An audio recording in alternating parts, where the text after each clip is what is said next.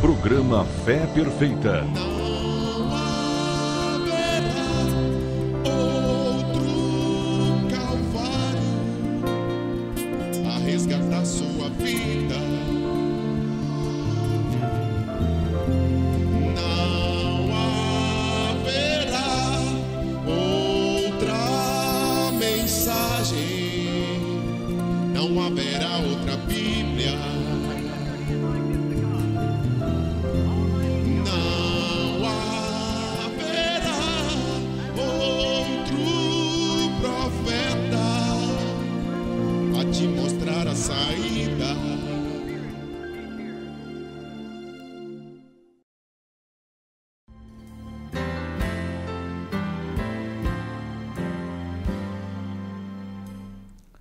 Louvado, engrandecido, exaltado seja o nome do Senhor Jesus Cristo, o verdadeiro Deus e a vida eterna.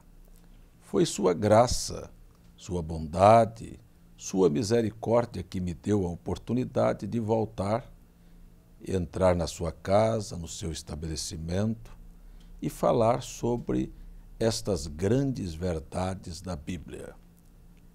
Por falar em verdades da Bíblia, quero lembrar a você que o programa Fé Perfeita, apresentado por esta emissora ou pela TV Fé Perfeita, que está 24 horas no ar, pelo site www.feperfeita.org.br, que pode ser acessado através do computador ou através do seu telefone celular, através do seu iPod, através do seu Android, enfim, você pode acessar e assistir entrevistas, cultos ao vivo e tenho certeza de ser abençoado por Deus. Aqui nós estamos através desta emissora amiga que abre a porta para que o Evangelho chegue na sua casa. Eu quero tomar as Escrituras aqui e, assim, no início do programa, dizer a você que quando nós estamos estudando a Bíblia, pode ser que em algum momento eu esteja citando o nome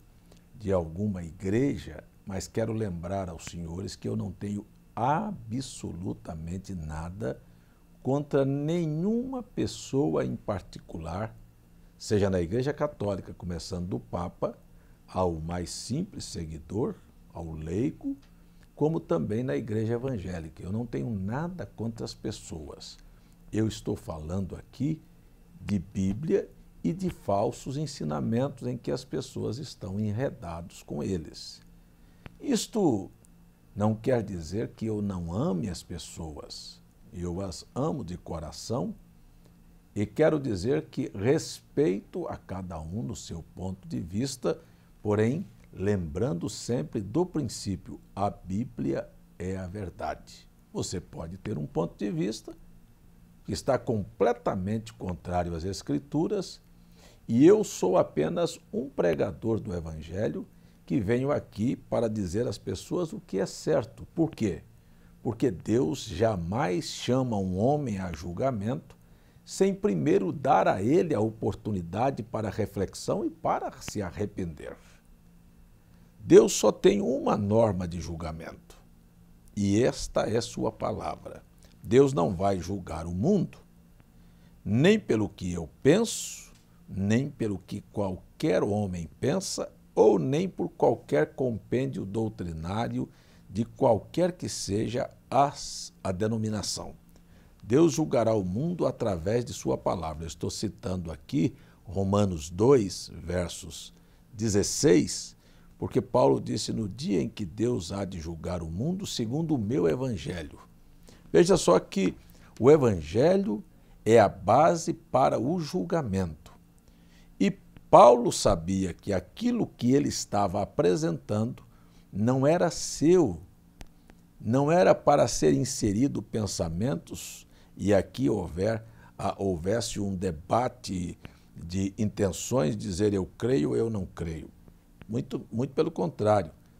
Paulo disse: se alguém cuida ser profeta ou espiritual, reconheça que o que eu vos escrevo são mandamentos do Senhor. Primeira carta de Paulo aos Coríntios, capítulo 4 14, verso 37. 14 e 37, primeira carta de Paulo aos Coríntios. Na carta aos Gálatas, ele disse: ainda que um anjo, ou eu mesmo venha e traga outro evangelho, seja anátema. Então, quando nós estamos estudando sobre o evangelho que vai julgar o mundo e o evangelho que é anátema, nós temos que encontrar que todo e qualquer ensinamento que não condiz com aquilo que Paulo, que é apóstolo e doutor dos gentios, pregou, é considerado como nada. Eu tenho que respeitar ponto de vista, as pessoas querem seguir erradas, que sigam erradas, mas eu estou aqui para falar a verdade, porque Deus há de me julgar segundo o que eu prego. E eu quero falar exatamente o que Paulo falou, porque falando o que Paulo falou, eu estou falando aquilo que é mandamento do Senhor.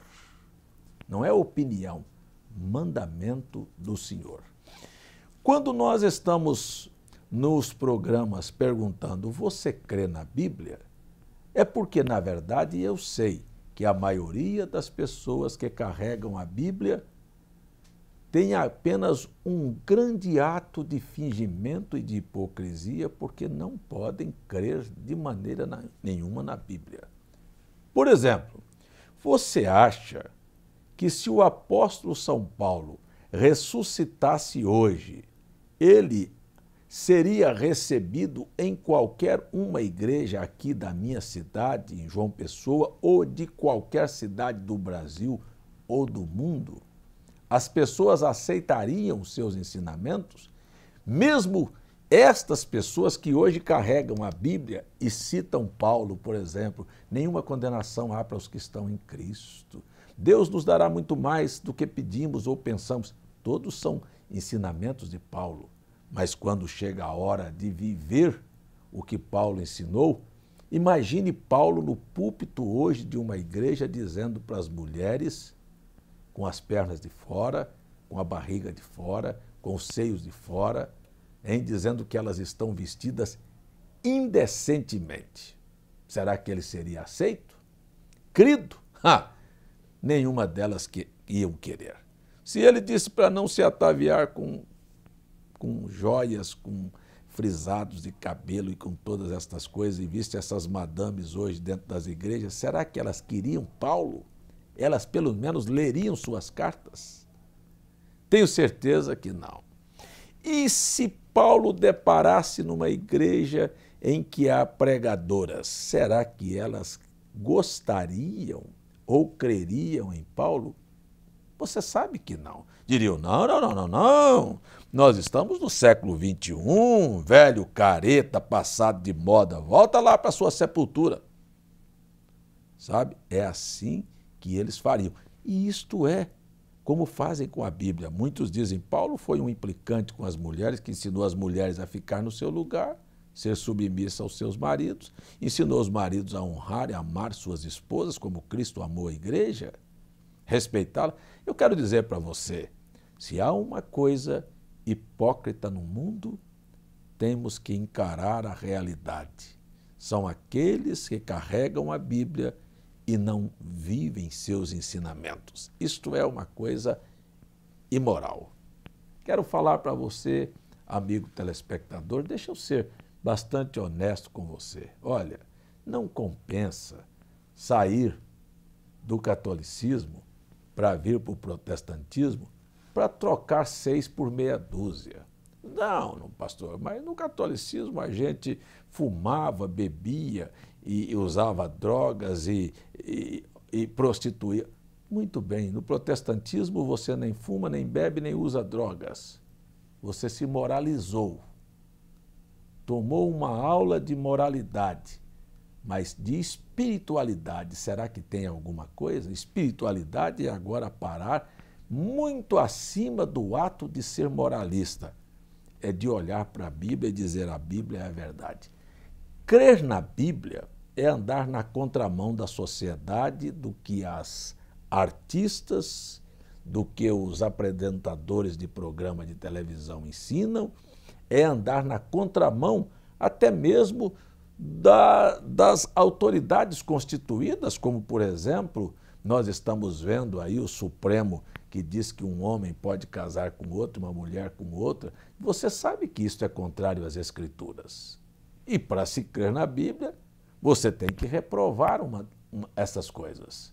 Quero dizer aos senhores que estão me assistindo que para se crer na Bíblia você tem que repudiar esta doutrina que Deus são três pessoas, porque ela não está na Bíblia. Para se crer na Bíblia, você precisa agora mesmo a ser honesto e verdadeiro. Escuta aqui.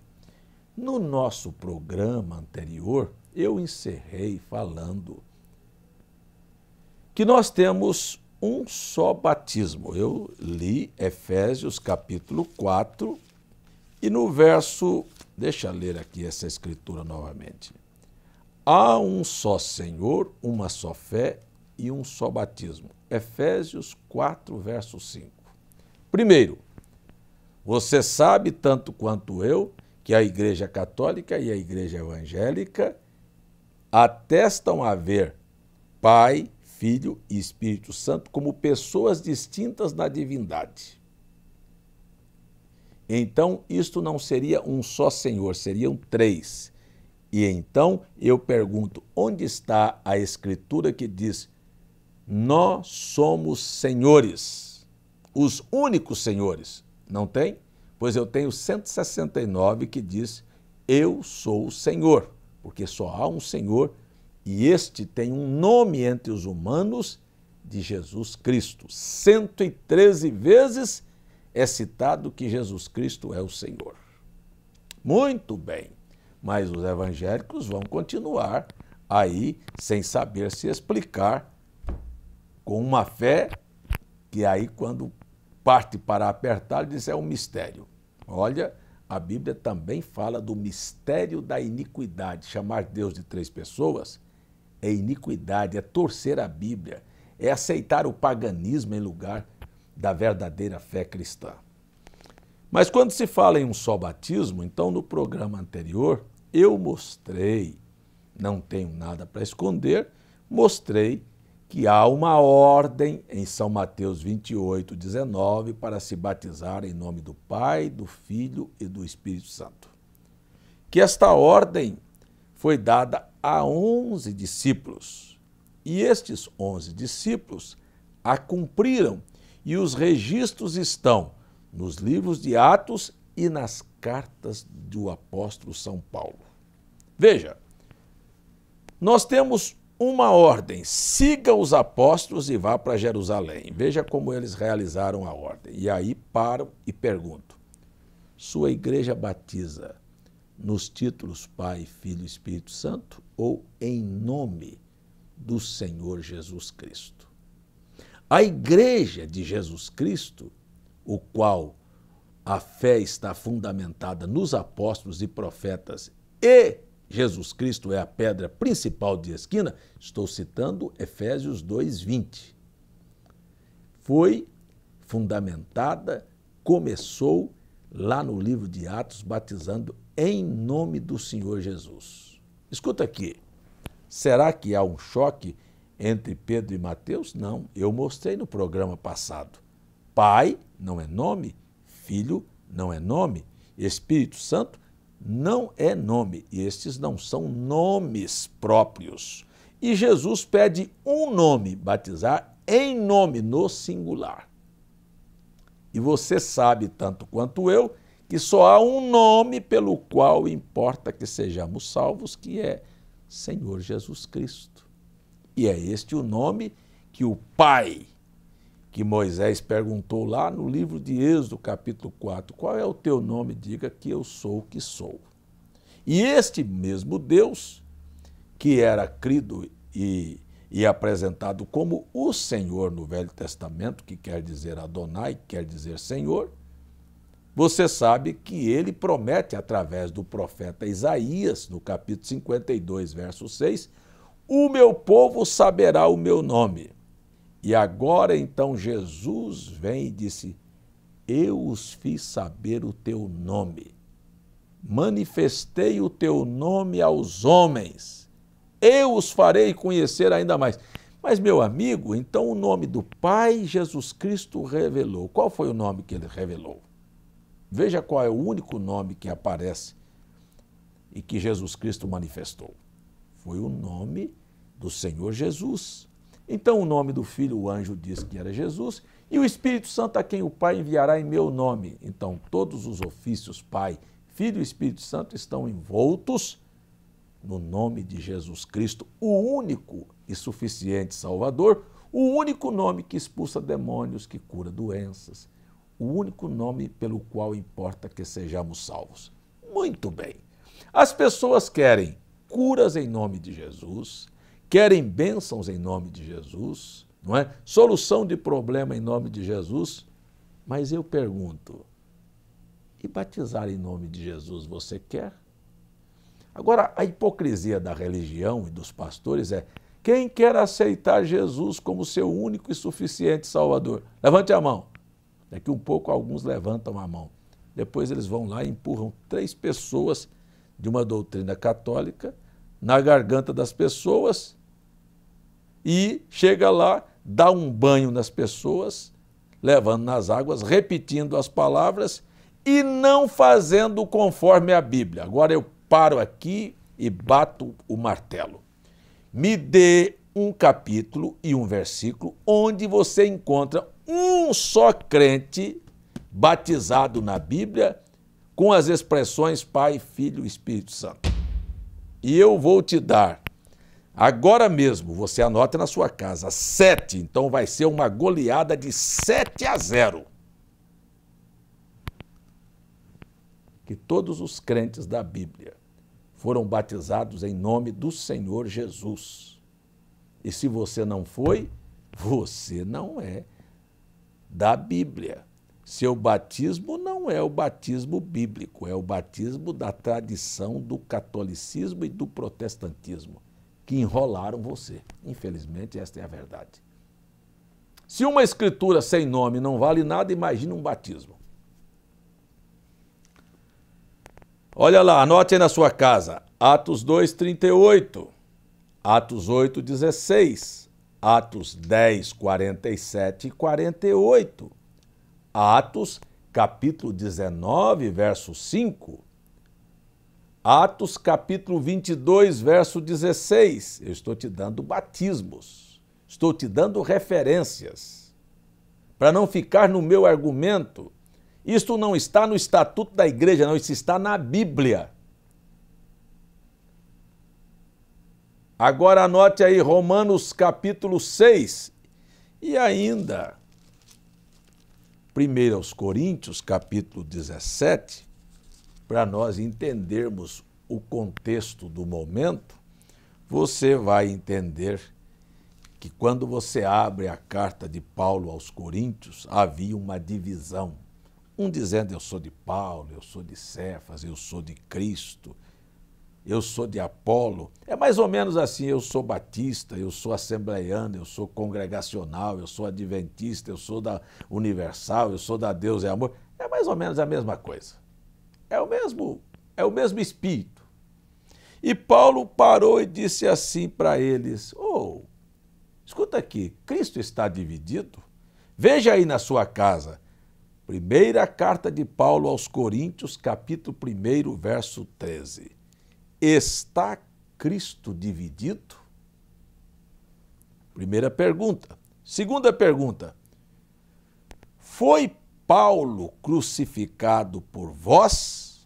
Segunda pergunta. Olha, Cristo não está dividido e Paulo nunca foi crucificado por ninguém. Terceira pergunta ou fostes vós batizados em nome de Paulo? Ora, meu amigo, você quer mais claro? Paulo está dizendo: Cristo não está dividido, eu não fui crucificado por você e você não foi batizado em meu nome. Quer dizer, Cristo não está dividido, Cristo foi crucificado por você e você foi batizado em nome do Senhor Jesus Cristo. Agora, o que é que você quer? Fique nesta divisão, nesta separação, neste fragmento do cristianismo infundado, sem argumento, eu vou fazer uma coisa aqui no programa.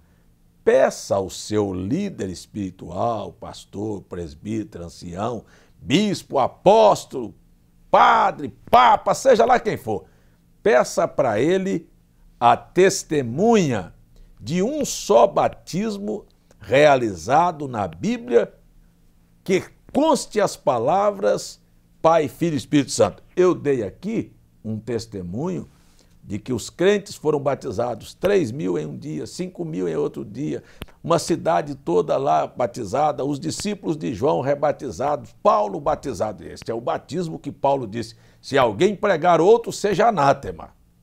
Agora eu vou mais um pouquinho, porque nós vamos já terminando o programa novamente. Nós temos registro histórico, agora não é mais nem Bíblia, é história de crentes que foram batizados até o ano 100, lá no final do primeiro século, já no segundo século do cristianismo. Quando um presbítero entra na água, leva um comerciante de madeiras para dentro do tanque batismal. A água não era numa cuia para jogar um pouquinho de terra, na, de pouquinho de água na cabeça, porque batismo é sepultamento, não se sepulta com um pouquinho de terra. A água estava dando pela cintura daquele que ia ser batizado. O presbítero perguntou: Você crê que Jesus é o Cristo? Ele disse: Sim. Então eu te batizo em nome do Senhor Jesus Cristo para perdão dos pecados. Esta é a Bíblia e esta é a história. Agora pegue aí na Bíblia e na história e me mostre onde foi que um apóstolo de Jesus batizou conforme sua igreja batiza.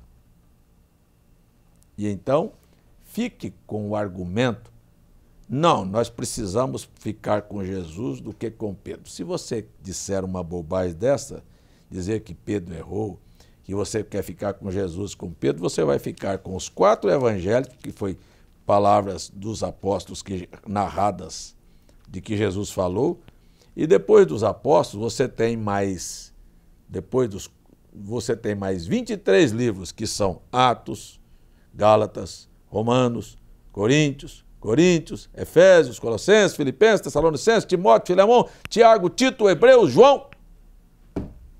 Todos eles foram realizados pelos apóstolos e eles só batizaram em nome do Senhor Jesus. Dá para se desconfiar que a forma que você fez está errada e dá para ser humilde, se arrepender e voltar? E eu vou um pouquinho mais.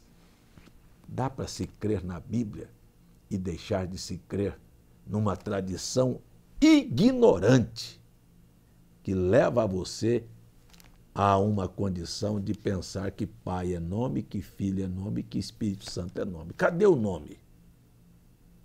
Pai é nome? Eu sou pai. Filho é nome? Eu sou filho. Espírito é nome? Eu tenho um espírito. Mas cadê meu nome?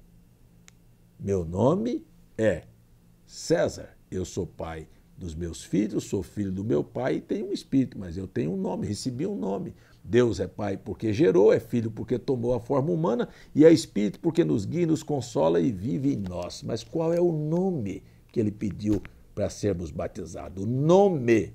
Não são nomes, nome.